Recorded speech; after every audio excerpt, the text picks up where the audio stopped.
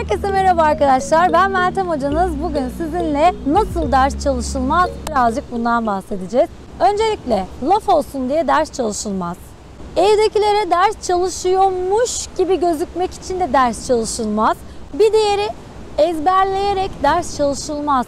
Ezberleyerek bu zamana kadar çalıştın. Eline ne geçti? Koca bir sıfır. Ezberledin, ezberledin. Olmadı. Demek ki neymiş?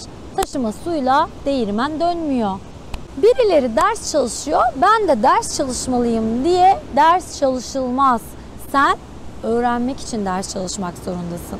O ders çalışıyor, Ayşe ders çalışıyor, Fatma ders çalışıyor. Ben de çalışmalıyım diye ders çalışılmaz. Ders kendin için çalışılır. Ders kendini diğer insanlardan farklı donanımlarda daha üst seviyeye çıkarmak için çalışılır. Yani öğrenmek için ders çalışılır. Nasıl ders çalışılmaz konusunun inan biçimiyle ve şekliyle hiç ilgilenmiyorum. Bence sen de ilgilenme. Çünkü ister yatarak ders çalışırsın, ister koşarak ders çalışırsın, ister yürüyerek ders çalışırsın. İstediğin gibi ders çalış. İstersen avunda kalkıp ders çalış. Hiçbir önemi yok. Yeter ki öğren. Örneğin ben yürüyüş yaparken inanın çok güzel böyle odaklanıyorum ve e, çok çok güzel motive oluyorum. Daha önceden çalıştığınız konuları tekrar etmek için yürüyüş yapmak inanın çok güzel geliyor. Özellikle sıraya konulması gereken sözel konularda öncelik sonralık sırasına göre e, ayırdığınız konuları çalışmak için yürüyüş yapmak gerçekten çok çok güzel geliyor. Çok çok faydalı oluyor. Öğreniyorsan hiçbir sorun yok. Çalıştığın yerin hiçbir önemi yok. Senin için sadece öğrenmen yeterli ve senin için de bu yeterli. Bu zamana kadar ezberledin, bu zamana kadar çalışıyormuş gibi yaptın. Artık lütfen öğrenmek için çalış. Ya hocam sen bana anlatıyorsun limit, türev, integral ama bunlar benim hayatta ne işime yarayacak? Ben bunları neden öğreniyorum deme. Bunları öğrenmezsen o sınavda karşına çıktığı zaman hiçbir şey yapamayacaksın ve ben bunları neden öğrenmişim, neden hayallerime kavuşamadım diye kendini inan çok sorgulayacaksın. O yüzden lütfen bunları öğren. Hocam çok çalışıyorum sabahlara kadar inanır mısın? Yani böyle çalış çalış çalış çalış sayfalarca okuyorum. Sayfalarca sorular çözüyorum ama yine de olmuyor. Denemeye girdiğim zaman ya da o sınava girdiğim zaman soru bana bakıyor ben ona bakıyorum. Bakar. Bakar arkadaşım. Neden bakar biliyor musun?